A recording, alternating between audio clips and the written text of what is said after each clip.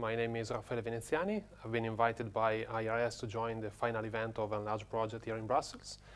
Uh, I think that it has been a very important uh, meeting because we have we have we had the opportunity to share experience and to find out a new way that is uh, the book game to to uh, create a participatory uh, event uh, in our countries. So I think it, it is a very good experience.